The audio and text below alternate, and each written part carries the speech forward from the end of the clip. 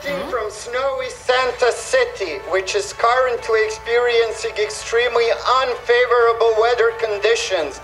But despite this, locals are only worried about one important question.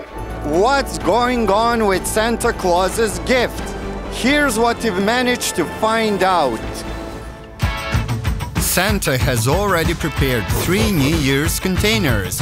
They're called Santa's Gift, Santa's Big Gift, and Santa's Mega Gift. They can drop. Days of premium account, doubloons, Coal, signals, expendable camouflages, and economic bonuses. There's also a high Chance of receiving one of the 150 ships from each Santa's container. Wow! Is the flurry of magical Christmas dust that has caused the bad weather today. Conditions, this dust makes it possible for Santa's sleigh and reindeer team to fly. But in case of a snowstorm like we're experiencing today, it might just hinder the ability to deliver gifts.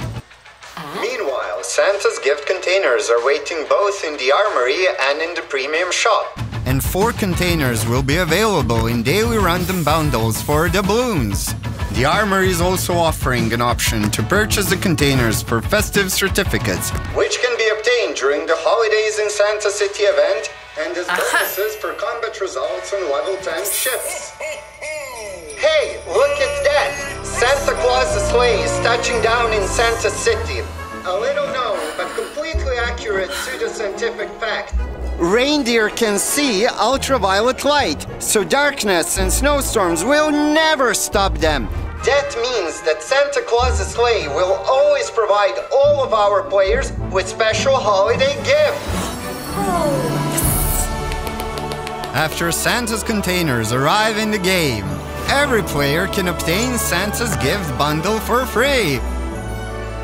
As well as in the armory when opening daily random bundles. Plus, on a page with our New Year's activities that will be published on our website. Captains, the next step is up to you.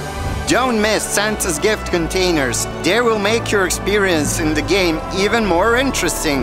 Good luck and fair seas.